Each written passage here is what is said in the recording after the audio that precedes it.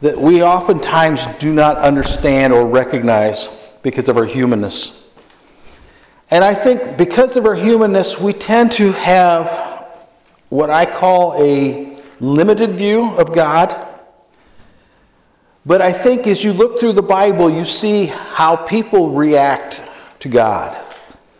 And if you've ever noticed, there are a lot of folks who have biblical names. Sarah, Rachel, David, Paul are all very common names and have been forever because they're in the Bible. But you will find a few names that you rarely, if ever, see. Jezebel, while I do know there's a few that have been named Jezebel, it's very few. And then for good reason. If you study Jezebel in the Bible, you see she's not a nice gal. But the guy we're going to study today this guy named Nimrod. And I just have never met anyone named Nimrod. And it might have something to do with the fact that his name has become synonymous with a fool or idiot. And maybe we ought to look and see why that is. My first scripture today is Genesis 10 8 through 12. Cush fathered Nimrod. He was the first on earth to be a mighty man. He was a mighty hunter before the Lord and therefore it said, like Nimrod, a mighty hunter before the Lord. The beginning of his kingdom was Babel, Erech, Akkad, Calneh, and the land of Shinar. And that land he went to into Syria, and he built Nineveh, Reboth, Ur, Kah, and Rezin, between Nineveh and Calah. That is this great city. Nimrod was the great grandson of Noah. He was the son of Ham, or his grandfather was the uh, Ham, and he bore Cush. And if you remember from Noah's time, Ham was one of the cursed because of what he had done with his father. There's not a whole lot of scriptures about Nimrod in the Bible, but if you get into Jewish texts, you will find a great deal about Nimrod. And this is how we find out so much. And a guy named Josephus, who is a Jewish historian, writes this about Nimrod. And I think it's interesting to note, even though it's about biblical, and so I didn't put it on your scripture list, but I think it is effective to tell us who Nimrod was from Jewish tradition and what it was about Nimrod that upset God. And Josephus writes Now it was Nimrod who excited them to such affront and contempt of God he was the grandson of Ham, the son of Noah, a bold man and of great strength of hand. He persuaded them not to ascribe it to God, as it were though he means that they were happy, but to believe that it was their own courage which procured that happiness. He also gradually changed the government into tyranny, seeing no other way to turning men from the fear of God, but to bringing them into constant dependence on his power looks a lot like a lot of the governments I see today. He also said he would be revenged on God if it should be in his mind to drown the world again, for that he would build a tower too high for the waters to reach, and he would avenge himself on God for destroying his, their forefathers. Now the multitudes were very ready to follow him in the determination of Nimrod, and to esteem it as a piece of cowardice to submit to God. They built a tower, neither sparing any pains nor being of any degree of negligent about the work. And by reason of multitude of hands employed in it, it grew very high sooner than any other could expect. But the thickness of it was so great that it was strongly built, that thereby it became a great height seemed upon the view to be less than it really was. It was built of burnt brick, cemented together with mortar, made of bitumen that is not liable to water. And when God saw that they acted so madly, he did not resolve to destroy them utterly, since they were not grown wiser by the destruction of the former sinners. But he caused a tumult among them by producing among them a diverse language, and causing that, through the multitude of these languages, they should not be able to understand one another. The place wherein the tower was now called is Babylon because it was confused the language and it was readily understood before, for the Hebrews mean by this word Babel, confusion. Nimrod has rejected God. According to Josephus, he not only has contempt for God, he desires to take as many people away from God as possible, and he challenges God. You will never destroy this world again because I'm going to build a tower too tall for you to flood. Now, the irony is, Nimrod didn't study his Bible. Noah was possibly still alive at the time of Nimrod. Certainly, Cush was certainly still alive, and Ham and those. And they would have told him God had promised to never flood the ground again. But Nimrod, not being a man of God, wasn't suffice with that promise. He didn't trust God, and he did not like God. And therefore, he tried to take everyone away from God.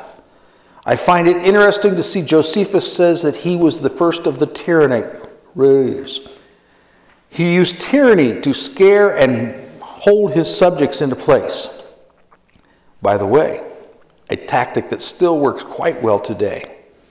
If you look at how many tyrannical governments are around this world and have been in the time, I find it interesting that he sought to build a tower not only for his own glory, but to defy God.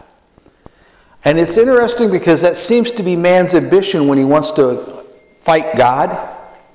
I will make myself equal to him. It is the sin that Satan had when Satan told God, I believe I'm equal to you and I deserve your throne just as much as you do. This pride goes before a fall. You've heard that one before. And with Nimrod, that certainly was the case. But he certainly was not the last. It might surprise you that the Tower of Babel, we can pretty much put a location on it, although we don't know the exact. There are people who believe they did. The last one who knew where he thought was the most exact place of the Tower of Babel was a man you are familiar with. His name was Saddam Hussein. And while Saddam Hussein was the leader of Iraq, he set out to rebuild the Tower of Babel, just like Nimrod.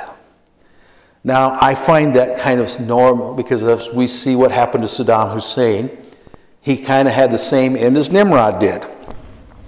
It didn't go so well.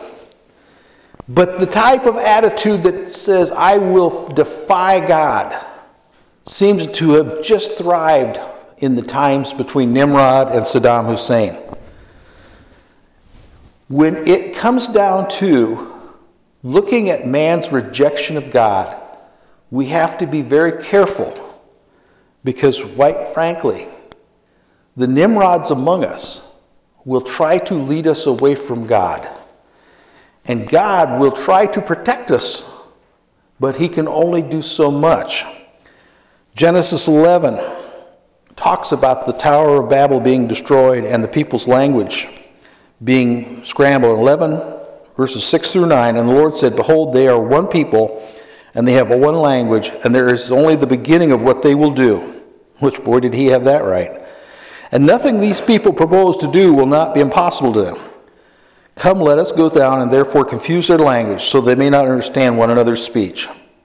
So the Lord dispersed from there the face of the earth, and they left, the build, left off the building of the city. Therefore its name was called Babel, because there the Lord confused the language of all the earth. And from there the Lord dispersed them over the face of the earth. Now, there are folks who will tell you that when they read that scripture, that God was afraid of what man could do that they might accomplish something like the Tower of Babel and it actually will do what it wants to do. This is kind of ludicrous because we know enough about science today to know that there is no such thing as a man built tower that could ever reach high enough to heaven. But it doesn't stop man from trying. And the sin was not so much the tower, it was the attitude behind the tower. It was the absolute rejection of God and the absolute conflicting with God. I will not accept your will. I will not accept your goal in my life.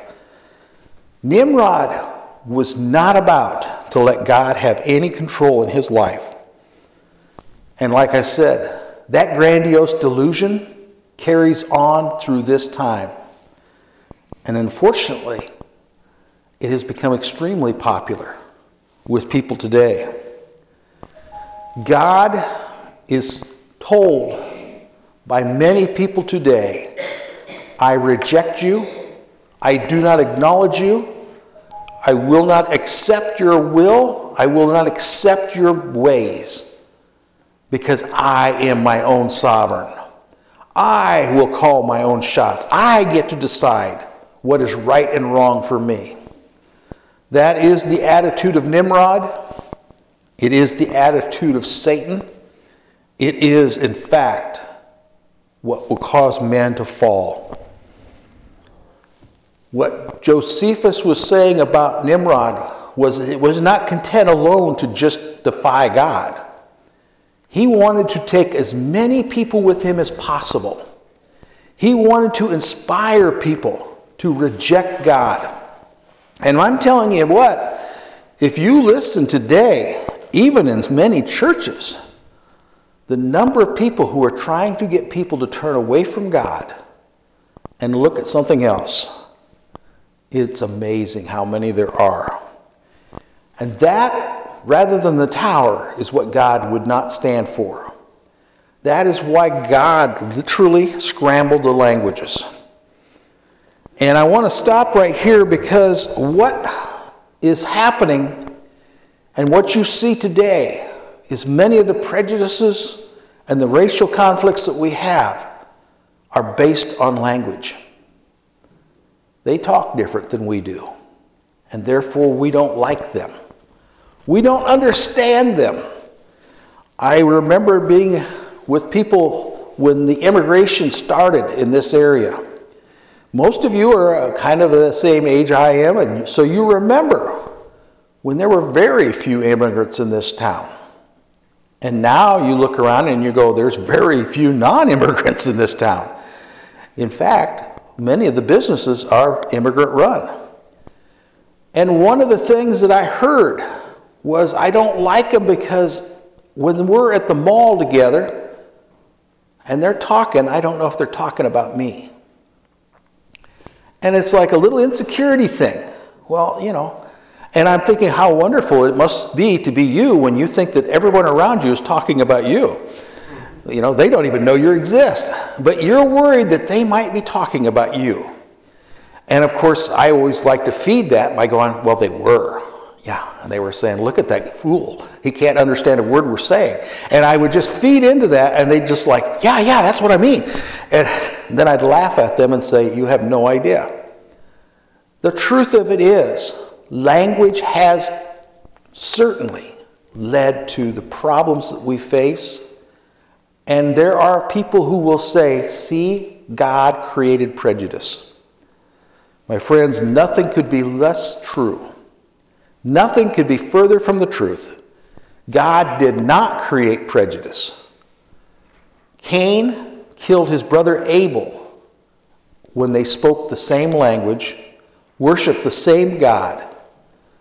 He had prejudice against his brother because his brother was righteous and he was not.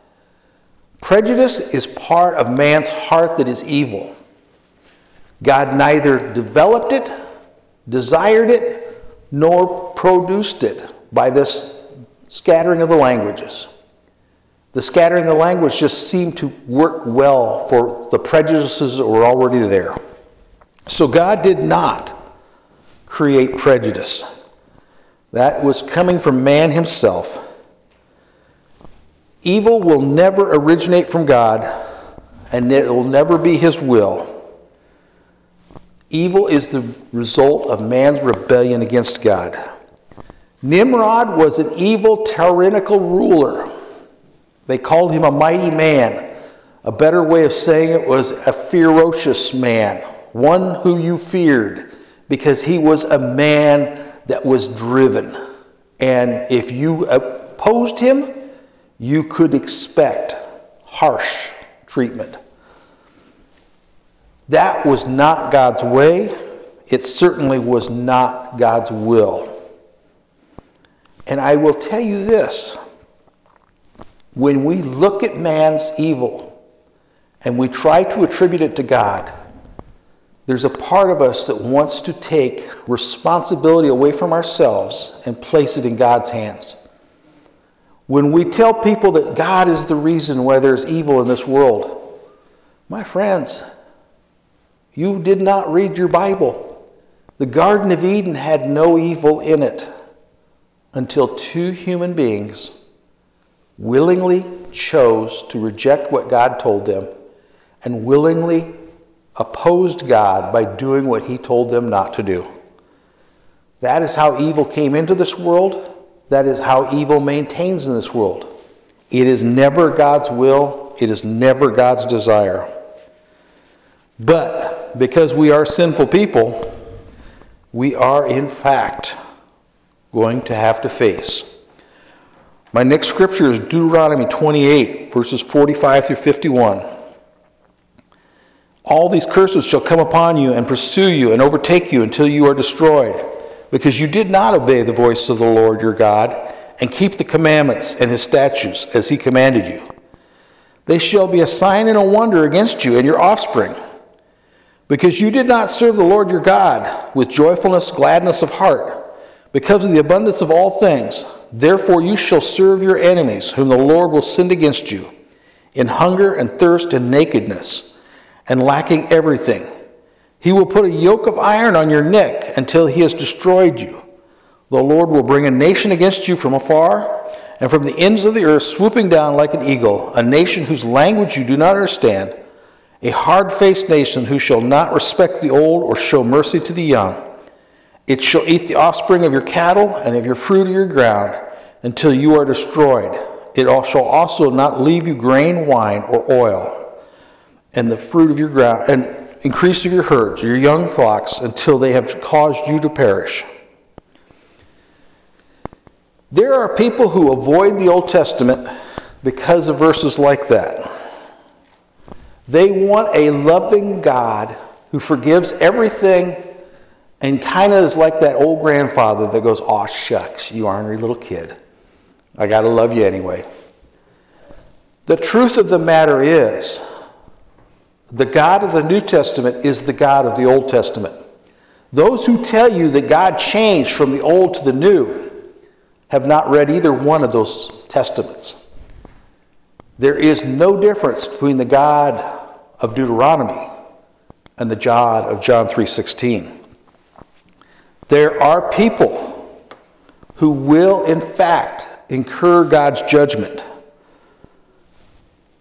There are people like Nimrod who have rejected God and his authority, and they will suffer because of that. You know, the truth of the matter is, in today's world, I can find a lot of people who will tell me, I refuse to listen to God. If he exists, I reject him. And I will refuse to acknowledge his existence. One of the, my favorite jokes is about a son of an atheist who said he came home and learned about God the Father and Jesus the Son and the Holy Spirit. And he says, Son, there is only one God, there is no three. And by the way, we don't believe in any of him. Well, you know, the funny part about that is, is to say that you don't believe in something is to acknowledge that it exists. And Philippians is very clear. And it's something that for those who reject God need to hear this verse because you know what? Philippians tells me that one day you will not only acknowledge God, you will bow down before him and you will confess him Lord. Philippians 2, verses 9 through 11. Therefore, God has made exalted, has highly exalted him and bestowed him with a name above every name so at that name of Jesus, every knee should bow in heaven and on earth and under the earth, and every tongue confess that Jesus Christ is Lord, to the glory of God the Father. My friends, on that day, Nimrod, Satan, and every atheist who has ever lived will in fact bow down and declare Jesus Christ their Lord. Whether they like it or not, whether they wish to accept him at that point or not, they will, in fact, declare him Lord because God is God. And you can deny God, but I'm here to tell you that you have just as much ability to go out into the stars at night and say, I want that star to move over to there. Your authority over that star is the same authority you have over God. You can wish all you want, you can think all you want, you are still powerless. And I'm here to tell you that many on that day that Philippians describes will bow before God, declare him Lord of Lords, King of Kings, and the Son of God, only then to turn and go into hell because they've rejected him. For you and me, I think it is important to understand that we examine our lives and we look to see if we are building towers to challenge God's authority in our lives. When I desire my will over God's, when I second guess His word and try and twist it to what my thinking is rather than what the Bible says, then I am truly making towers against God. Now, I'll be honest with you. Unlike the Tower of Babel, my towers probably resemble more Play Doh than they do brick. But they are just as destructive because they are a sign that I am rejecting God, that I am challenging God's authority. Nimrod set out to not only challenge God, but he was going to confront God personally. Now he gets to meet God and he will face God, but I'm here to tell you that the confrontation he thought was going to happen will be rather more like, My Lord, my God, I rejected you, and now I'm gone. For us, I will tell you that the world around you will tell you again and again that God is dead or that he has no effect in your lives. That was Nimrod's line. I will make a tower. I will argue with God. I will confront God. And if God desires to do this, I will defeat God because I can make a tower so big I can charge against him. Nimrod's tower never got completed. He was the beginning of a scattering of people. Today, his name means fool, and it is never going to probably be used in anybody. I, I pity, you know, they, John, uh, Johnny Cash had a song, Boy Named Sue. I think the only thing worse than a boy named Sue would be a boy named Nimrod. Uh, you're not going to see this name upheld because the foolishness of his nature speaks throughout time. But unfortunately, the lesson that the people learned through Nimrod's time is being forgotten today. It is being overlooked, and we are embracing the attitudes of Nimrod again. Nimrod should be a warning to you and me that to build our own towers, to defy God, to challenge God, to question God, is a definitely dangerous place to be. When we as mere men think we are capable of judging God, we are on fact on the road of Nimrod. My friends, don't be a Nimrod. Thank you.